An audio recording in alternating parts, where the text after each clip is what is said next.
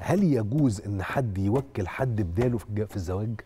آه في عقد الزواج نعم الزواج إما بالأصالة يعني يزوج نفسه وإما بالوكالة يوكل أحد وإما بالولاية على المحجور عليه.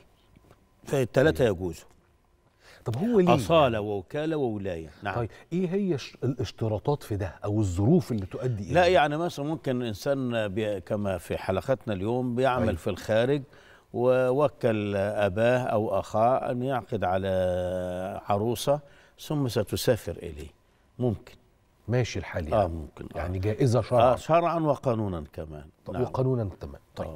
هو للاسف الوقت جري بينا أنا مش عارف بارك ليه الله فيك لكن الأمر له من قبل ومن بعد ربنا يخليك لنا مولانا شكر الله يا نورتنا. وشرفتنا وأفدتنا. كما جرت العادة